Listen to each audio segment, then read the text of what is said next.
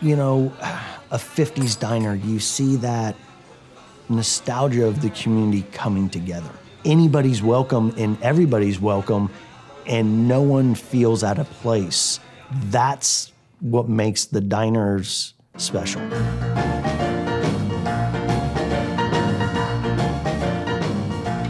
My dad uh, founded the company. Me and my brother owned the company. Dad was the uh, mind behind it.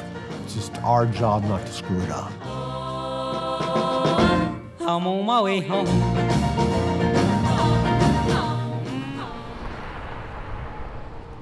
Dad told me and my brother, because we were having to work for free because there was only one store, my brother said, Well, Dad, how do we get paid? And he goes, Well, when pigs fly. So we went and got a pig and put it on a string. After a while, we opened a few more restaurants and we finally started getting a check here and there. This business is based on customer service. It's based on relationships. That's what we do every day in every restaurant. We can be that community diner because of the partners we have.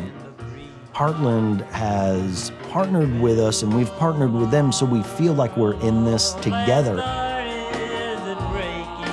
Before Heartland, we we were old school. We still had handwritten gift cards. It legitimately was a 10 key cash register that we input all the pricing in. While it worked for us, it didn't give us any information on what items we were selling by location. We were missing add on sales. Um, we were ringing up wrong pricing. We never knew what our liabilities were.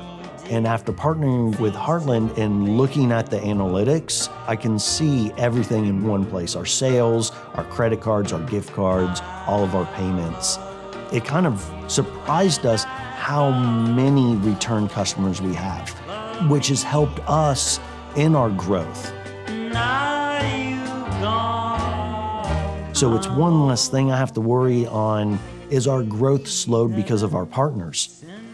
I don't have to worry about that with Heartland.